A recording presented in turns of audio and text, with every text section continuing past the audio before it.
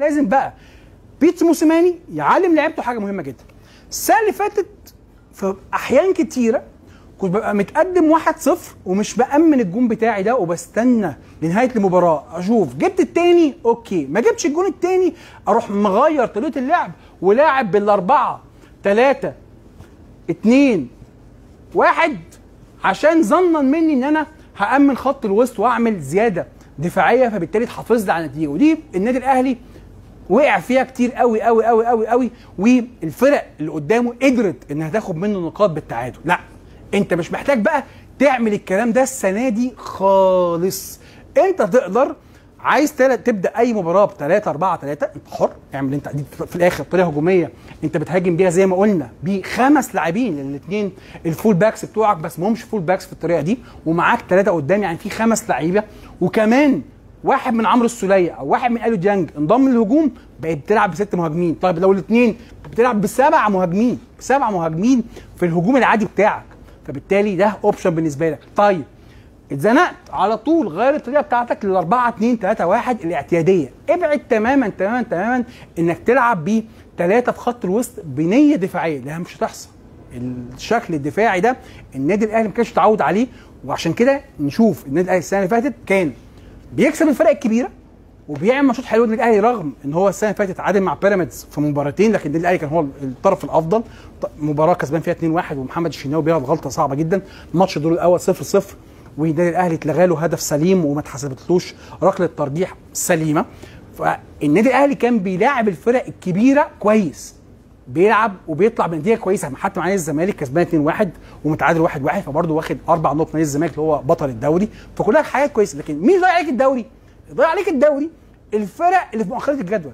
الفرق اللي بتلعب zone defense. الفرق اللي بتخنق ال- الفرق الكبيرة. أنا شايف النهارده بداية جيدة. لبيتسو موسيماني إن هو يحاول على قد ما يقدر يستغل الشكل ده ولازم في طبعا الموضوع مش سهل اللي هو زي ما النهارده كسبنا 4-0 هنقدر في كل مباراة إن إحنا نحقق سكور لا الموضوع محتاج منك توظيف جيد للاعبين محتاج أنت زي النهارده تعمل تبديلات كويسة إزاي تستغل المباراة وتقسمها على آه، توقيتات زي النهارده مثلا مثلا في وجهة نظري كان ممكن في نهاية المباراة أو أنا شفت إن الشوط الأول خسر صفر كنت أبدر تغييراتي شوية وأخليها من الدقيقه 60 بحيث إن هي تديني تجربة للاعبين تانيين. ولكن بس تاني بشوف إن أحمد القادر مكسب كبير قوي قوي قوي قوي للنادي الأهلي. لسه حسام حسن عايز وقت لسه طبعا عمار حمدي عايز وقت حسين الشحات وكهربا. أنا برضو نسيت أقول لكم كهربا. كهربا كان واحد من نجوم النادي الأهلي في ماتش ال- ال- الحرس الوطني بطل النيجر. آه، كهربا النهارده ربما ما- فيش مساحة إن هو يشارك في المباراه بسبب كثره اللاعبين بيلعبوا على الأجنحة. فكلها حلول وكلها آه زي ما قلت خيارات عند بيتسو موسيماني إن هو طبعا أكيد الفترة الجاية يبقى عنده ضغط مباريات سواء في الدوري أو سواء في دوري أبطال آه أفريقيا ولكنها محتاجة بقى قرارات سليمة. إزاي النهارده؟ واحد أحمي لعيبتي من الإجهاد المفرط. إزاي النهارده أستخدم واستغل ال tactics المفيدة لل squad دي اللي أنا فعلا فعلا ك- كابتن أمير توفيق في الحلقة الأخيرة من برنامج البيت الكبير على قناة النادي الأهلي قال كلمة قوية جدا. النادي الأهلي مش بيملك أقوى squad في مصر. النادي الأهلي بيملك أقوى squad في أفريقيا. دي حقيقة ثابتة. وطبعا آه، كل اللي شافوا مباريات الإياب في دور ال 16 لدور 32 لدوري أبطال أفريقيا حقيقة حقيقة واضحة. اللي شاف ماتش الترجي مع الاتحاد الليبي الترجي فعلا بعيد جدا. ربما بس الفرقة اللي ها محافظة يعني على شكلها شوية الوداد والرجاء هم دول اللي محافظين شوية. والنجم الساحلي بيحاول بس برضه still النجم الساحلي لسه معتمد على الشخاوي واللعيبة القديمة. وكمان طبعا مش عايزين ننسى سان داونز وبرده فرقة يعني ربما الفرق الجزائرية اللي قدروا يعوضوا آه التأخر في ماتشات الذهاب آه شباب بلوزداد وشبيبة القبائل قدروا إن هم يعوضوا التاخر اللي كان عندهم في مباراه الذهاب. بس still فعلا النادي الأهلي بيملك فعلا أقوى قايمة في أفريقيا. طول ما أنت معاك squad قوية تقدر بقى تنوع تعمل اللي أنت عايزه. فعلا نقطة مهمة برضه لازم نكون عارفينها. بيرسي تاو واضح كده إن هو لما بيلعب في عمق الملعب بيقدر يغطي مساحات كبيرة.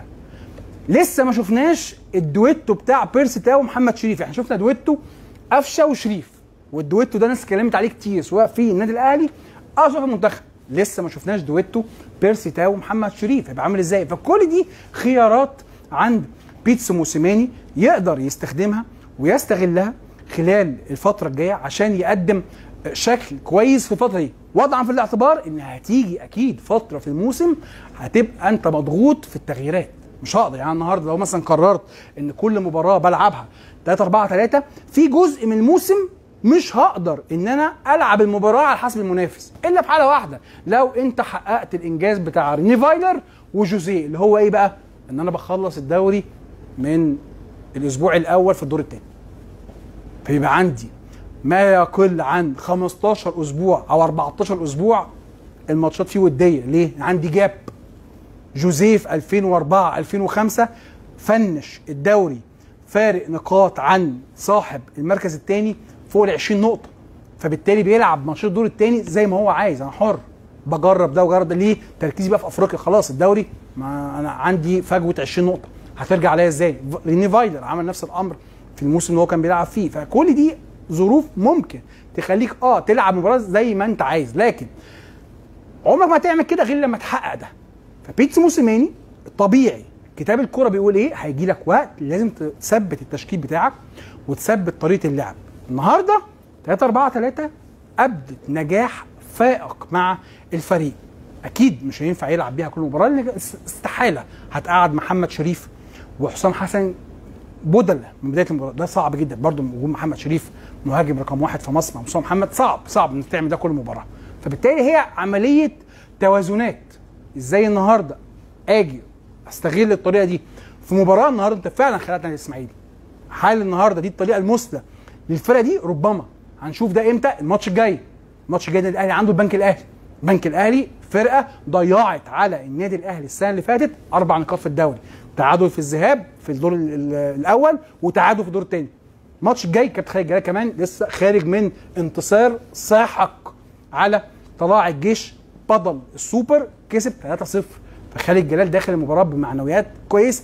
فدي برضو اختبار جيد محتاجين نشوفه لبيتسو موسيماني. هيعمل إيه؟ في. مع مع فريق بيلعب بنفس العقلية الزون ديفense واسيب لك الكرة في نص ملعبك تعمل اللي أنت عايزه هنشوف بيتسو موسيماني لأن بعديها مباراة القمة و يعني تطرق لمباراة القمة لازم اليو ديانج بصراحة يحمد ربنا إن هو النهارده اتطرد بسبب إنذارين مش بسبب طرد مباشر. لو كان طرد مباشر كان ممكن ياخد إيقاف مباراتين لكن هو بعد ما خد طرد بسبب إنذارين يبقى هو هيغيب بس عن مباراة البنك الأهلي وبالتالي هنشوفه في مباراة القمة واللي أكيد أكيد مباراة القمة خدت شكل مختلف بعد المستوى اللي شفناه النهارده من النادي الأهلي ودخول بيرسي تاو اللي فعلا فعلا فعلا إدى بريق للفريق وإدى طعم مختلف للنادي الأهلي في الدوري ودايما نحب نشوف نوعية اللعيبة دي بالظبط بالظبط زي الموسم اللي جه في نادي بيراميدز لما جاب هذا الكم من اللاعبين ال class A بصراحة زي كينو. ساعتها كان معاه مجموعة من اللاعبين المميزين جدا جدا من أمريكا اللاتينية إدوا الفرقة شكل مختلف. ده اللي إن شاء الله هنستناه من النادي الأهلي المرة الجاية. نشوف ماتش بنك الأهلي طبعا هنكون معاكم فيه عشان بس عارفين النظام. بعد كل مباراة إن شاء الله في الدوري. إحنا بنطلع معاكم live أي مباراة أهلي وزمالك في live قبل المباراة بنتناقش على أنا طبعا وأصدقائي وزمايلي في يلا كورة بنتناقش معاكم على التشكيل آه توقعات كل واحد يقول وجهة نظره. والله أنا شايف النهارده ده هيبقى نجم الفريق ده أنا شايف ده هيبقى أحسن واحد. لا ما كانش ينفع يلعب بالطريقة دي لا كان ينفع يلعب بالطريقة دي. ده الساعة اللي قبل كل مباراة. بعد المباراة إن شاء الله آه هيبقى برضو أنا وزمايلي هيبقوا معاكم عشان نحلل المباراة تكتيكيا أو فنيا أو حتى نتكلم بشكل نقدي بعيد عن التحليل. في ناس بتحب التحليل في ناس ما بتحبش. بس أنا هبقى يعني واخد التاسكايه بتاعة مباريات النادي الأهلي مع أيمن جilberto وزمايلي محمد يحيى وابراهيم وبقيه الشباب في يلا كوره هياخدوا مسؤوليه مباريات نادي الزمالك وان شاء الله حتى لو برضه في مباريات تبقى حد يعني ممكن تبقى قويه شوية مثلا. ممكن والله ليه؟ ممكن نادي فيوتشر السنة دي برضه إحنا مستنيين منه اداء معاه squad كويسه. نادي فاركو برضه ربما اتغلب اول مباراه لكن برضه فرقه مصنوعه بشكل جيد. الفرق دي برضه في بعض المباريات ممكن تبقى مباريات سخنة مع نادي بيراميدز اللي النهارده برضه عمل مباراة ممتازة قدام مصر المقاصة وقدر يكسب 2-1 ممكن برضه ليه لأ نطلع لايف فيها ونتكلم عليها. مش ما يبقاش بس الأمر محصور على مباريات الأهلي والزمالك. أكيد مباريات الأهلي النادي الأهلي ونادي الزمالك بيبقى هي الأكثر جماهيرية وتبقى هي الأكثر طلبا من محبين آه، يلا كورة. ده كان تحليلنا النهارده. مباراة الأهلي ونادي الإسماعيلي 4-0 بداية رائعة لبيتسو موسيماني تخفف الضغط شوية اللي كان عليه خلال الفترة السابقة. بيرسي تاو كان الجو من كل الناس النهارده. طبيعي بعد الأداء الرائع اللي إحنا شفناه فعلا كلنا اتمتعنا بالمباراة. نتمنى نشوف الأداء ده بيتكرر نتمنى نشوف المستوى ده بيتكرر كتير. وبإذن الله نستنى بقى زي ما قلت لكم افتكروا دايما السؤال ده مهم قوي. تاسك لبيتسو موسيماني هتعمل إيه مع الفريق اللي ضيع عليك أربع نقاط السنة اللي فاتت في الدوري. الاستمرارية شيء مهم. نقطة مهمة دي. قبل ما أنهي لازم أقول النقطة دي. نقطة مهمة. الاستمرارية هي المقياس عند البطل مش الانفجار مرة واحدة. النهارده بيرسي تاو وبيتسو موسيماني بالتلاتة 4 3 انفجروا. إبداع انفجاري. okay. الاستمرارية قد إيه؟ هنا الإجابة. هو ده السؤال بقى. الاجابه عن بيتسو موسيماني الاستمرارية على الشكل اللي شفناه النهارده هتبقى قد إيه؟ كل ما تستمر أطول كل ما إحنا نتيقن إن أنت متمكن من اللي أنت عملته. ما جاش معاك ضربة حظ. دي, دي دي نقطة مهمة قوي قوي قوي قوي قوي لازم نبقى واخدين بالنا منها وهنستنى الإجابة من بيتسو موسيماني ومن النادي الأهلي اللي في وجهة نظري. فعلا الأداء ده خلى كل واحد بقى مستني النادي الأهلي يلعب ماتش كل يومين من جمال وروعة الأداء اللي إحنا شفناه النهارده. كنت معاكم كريم سعيد تحليل ماتش الأهلي والإسماعيلي 4-0 مبروك النادي الأهلي مبروك جماهير النادي الأهلي. ونشوفكم إن شاء الله يوم الأحد خلي بالكم يوم الأحد يوم هيبقى قوي جدا جدا جدا. نادي الزمالك هيلعب 5 ونص النادي الأهلي هيلعب الساعة 8 طبعا بخلاف مباريات أوروبا واللي برضه هنحاول إن شاء الله نغطيها معاكم في لايفات. بس أكيد طبعا الفترة الجايه كلها ضغط. بس يوم الأحد إن شاء الله استنونا في لايف جديد من تحليل مباريات الدوري مع يلا كورة. كنت معاكم كريم سعيد.